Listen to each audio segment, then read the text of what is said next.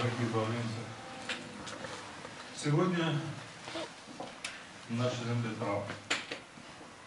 Траур, потому что ушел огромный человек.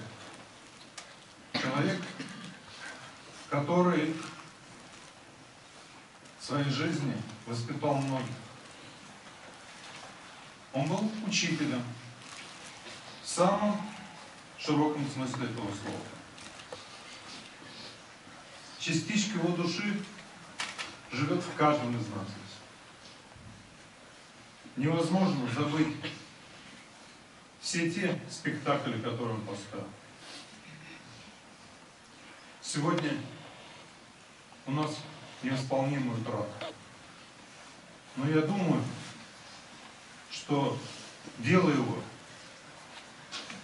ни в коем случае не прекратится. И мы много, много лет будем помнить его. Человека, который настоящего гражданина нашего района, настоящего человека, который отдал все, всего себя этому делу и нашему району. Спи спокойно, Ильян Юрьевич. Мы будем помнить тебя всегда.